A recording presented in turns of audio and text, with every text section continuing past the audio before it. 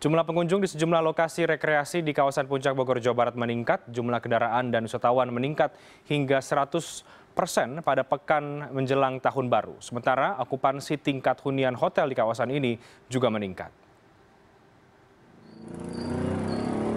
Jalur Puncak Bogor, Jawa Barat macet pada pekan perayaan Tahun Baru. Salah satu titik macet berada di simpang masuk jalur Taman Safari Cisarua. Antrean panjang kendaraan wisata berdesakan di gerbang loket hingga mengular sejauh hampir 5 km. Bahkan dari data pengelola peningkatan jumlah pengunjung naik dua kali lipat pada akhir pekan menjelang tahun baru. Sedikitnya tercatat lebih dari 15.000 pengunjung menyerbu tempat rekreasi ini setiap harinya. Kita sudah hampir seminggu ini eh, pengunjung meningkat terus. Perbedaannya dibandingkan hari-hari biasa hampir 100 persen, dua kali lipat. Sementara tingkat hunian di sejumlah hotel area Cisarua juga meningkat. Pengelola hotel mengklaim okupansi penginapan meningkat hingga 90 persen menjelang libur tahun baru.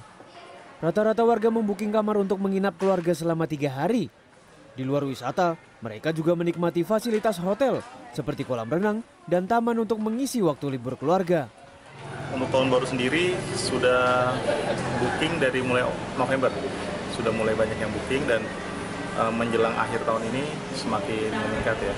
Sementara okupansi kita sekarang sudah hampir penuh ya Pak ya.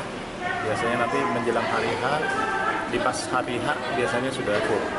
Eh, ya menghindari isu-isu yang kemarin ya kejadian yang kemarin jadi kita cancel ke Anyer kita pilih ke sini aja sih Selain lokasi yang tidak jauh dari ibu kota, lonjakan jumlah pengunjung wisata dan okupansi hotel di kawasan puncak ditaksir akibat imbas pengalihan tujuan warga lantaran ada ancaman bencana di area wisata pantai.